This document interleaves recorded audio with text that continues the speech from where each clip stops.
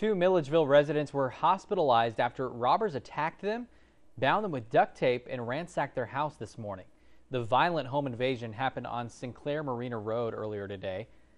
Deputies are still searching for the three people suspected in the incident, and residents are worried. They fear this is a sign of a crime spike. You never know. Uh, you seems like when there is something, you hear it a lot, but then you don't hear anything. Investigators have identified two of the three suspects.